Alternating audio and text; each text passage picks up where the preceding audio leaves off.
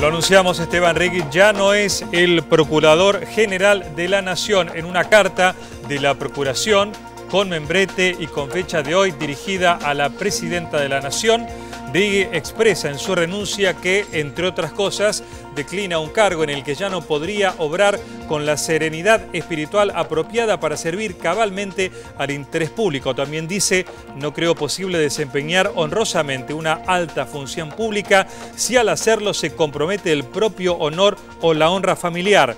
Pero al momento de formalizar mi renuncia, escribió Riggi, no puedo ocultar que jamás creí que fuera posible ejercer tan alta función en condiciones de asepsia política. Por el contrario, en todo momento sentí que estaba colaborando con un proceso singular, característico de una etapa histórica plena de posibilidades de cambio y enderezada hacia la consolidación de un proyecto profundamente nacional, popular, democrático y progresista forme parte de este proceso con la certidumbre de estar contribuyendo a convertir en realidad los sueños de liberación de varias generaciones, los mismos sueños que a veces fueron ahogados en sangre y otras traicionados, dice la carta de Esteban Ríguez. Finalmente, dice que en este sentido, y aunque la posición que ostento me confiere estabilidad y fueron solo removibles por juicio político, no dudo en renunciar a ambos cargos, pues nada tengo que ocultar. Sin otro particular, saludo a la señora Presidenta de la Nación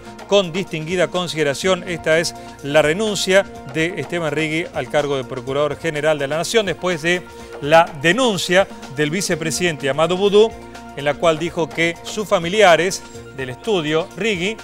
eh, le habrían ofrecido vinculaciones con los tribunales de Comodoro Pi.